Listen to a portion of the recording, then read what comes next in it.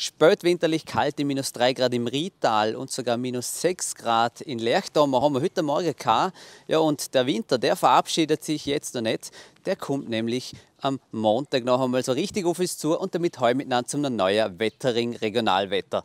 Ja, der heutige Freitag, der bringt noch einmal einiges an Sonnenschein, aber im Verlauf vom Nachmittag dazu ein paar hohe Wolkenfelder über Vorarlberg drüber und können die Sonne ein bisschen abschatten und die Temperaturen schaffen es gerade mal knapp über die 10 Grad drüber.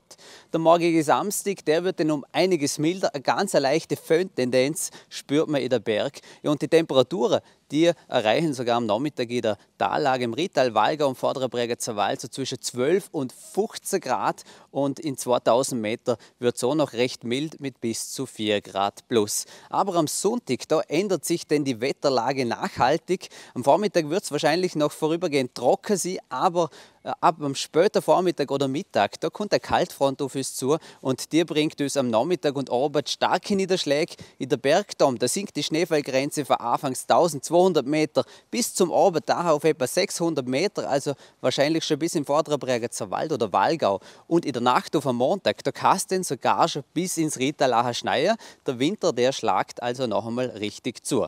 Am Montag waren wir mit so Frühwert um die 1 Grad. Es heißt, es schneit bei einem Grad im Ritt Luna wahrscheinlich und es könnte sich, wenn die Niederschläge richtig herstauen, sogar eine Schneedecke ausgehen im Ritterlun für über 5 cm und in der Berg kann etwa 20 cm Neuschnee dazu, wenn wir in dieser Animation auch schön sehen. Ja, und danach, da beruhigt sich das Wetter wieder ein bisschen.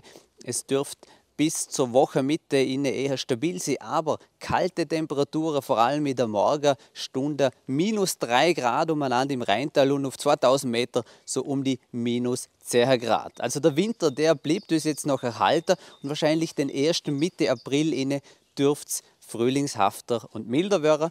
Wenn euch das Video gefallen hat, gerne uns ein Like, abonnieren uns auf YouTube, Instagram und Facebook. Ich wünsche euch jetzt noch ein wunderschönes Wochenende. Mein Name ist Lukas Alton. Ciao miteinander.